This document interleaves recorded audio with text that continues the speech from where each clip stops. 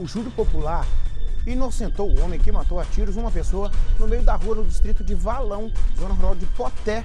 Ah, essa imagem do crime na época, eu me lembro disso. Me lembro desse caso. Me lembro desse caso. O advogado de defesa convenceu os jurados de que o réu agiu sob perseguição da vítima. O Fantônio Peço está chegando aqui com detalhes desse crime. Me lembro, Fantônio, esse crime foi no fim de uma tarde, né? Me lembro direitinho, a gente repercutiu isso aqui. O povo muito assustado, né, por causa dos disparos no meio da rua. Eu sei que à época falou-se de cobrança, parece que é cobrança de alguma coisa. Você vai relembrar isso pra gente? Por favor, amigo, boa tarde.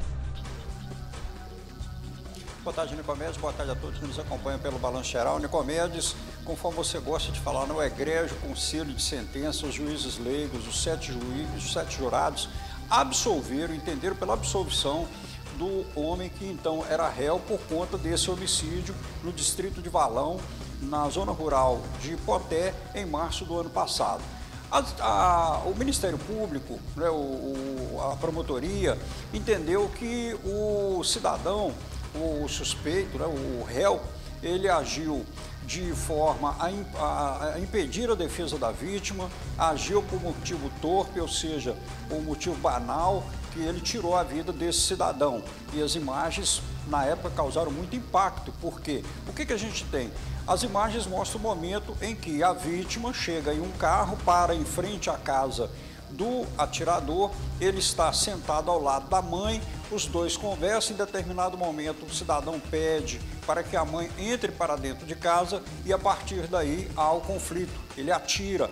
A vítima sai do carro pela rua fora, sendo alvo de disparos de arma de fogo, até que cai na esquina. E aí o cidadão, o, o Narciso, ele ainda recarrega a arma e atira novamente, em seguida foge. Ele foi preso dias depois. Então, o, o, Ministério Público entendeu que o cidadão teria agido a dificultar a defesa da vítima e por motivo torpe. Mas a defesa veio e convenceu os jurados de que o que tinha eh, nessa situação, que o Narciso, o atirador, ele vinha sendo perseguido pela vítima por conta de um crime de lesão, um desavença entre os dois que gerou uma lesão corporal e ele vinha sendo perseguido. Inclusive, o Narciso inclusive, saiu de Valão, foi embora para São Paulo, ficou um ano fora e nesse tempo a defesa alegou que o, a vítima extorquia a, a mãe, os familiares, ameaçava que ia tirar a vida do Narciso, ia atacar o filho dele, ia, é, inclusive, mutilar o corpo do filho dele.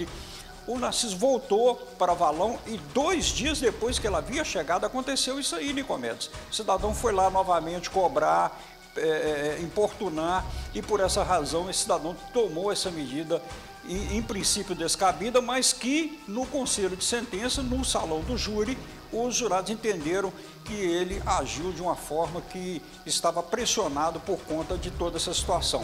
Um, um veredito incomum e que um belo estudo de caso para os estudantes, os acadêmicos de direito e também uma questão, o advogado de defesa considera que foi feita justiça ao, ao cliente dele, que estava pressionado, estava perseguido, estava sendo, de certa forma, extorquido e não teve outra situação senão, é, nesse caso, aí, tomar essa medida, Nicomedes.